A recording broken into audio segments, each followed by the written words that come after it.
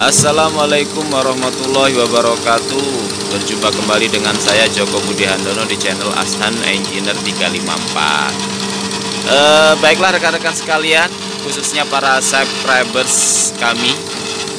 Eh, Untuk video kali ini saya akan menjawab Salah satu pertanyaan dari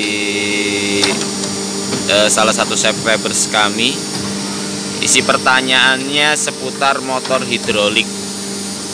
Nah, ini di depan saya dalam video ini adalah uh, motor hidrolik sebagai driver dari skru barel pada injektor pada injection molding. Yang ditanyakan tentang putarannya. Jadi putaran motor hidrolik itu normalnya ke arah kanan atau ke arah kiri ya, itu yang ditanyakan.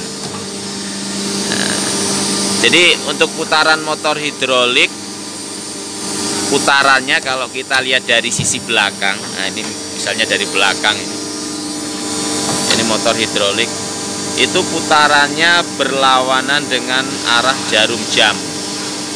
Jadi putarannya kalau dari sisi belakang itu putarannya ke kiri putarannya ke kiri memutar menggerakkan skru pada barel. Nah, kemudian materialnya masuk ke barel dan maju ke depan. Jadi pada saat berputar eh, materialnya atau bahannya itu didorong oleh skru maju ke arah depan ke arah nozzle dari injektor.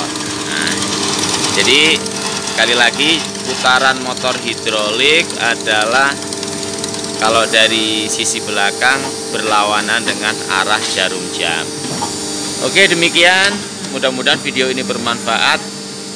Atas perhatiannya diucapkan terima kasih. Jangan lupa selalu mendukung channel kami Asan Engineer 354 caranya eh, bagi yang belum subscribe silakan subscribe channel kami like video ini dan silakan di share ke media sosial rekan-rekan sekalian.